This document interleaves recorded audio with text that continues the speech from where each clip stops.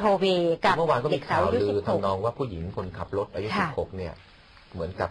หนีหายไปจากโรงพยาบาล ออกต่างประเทศไปหรือเปล่านีไปเมืองนอกไง